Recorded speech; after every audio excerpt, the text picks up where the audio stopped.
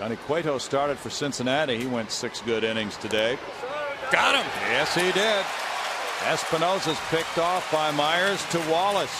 No runs a hit, nobody left. The Astros lead it two to nothing in the middle of the third.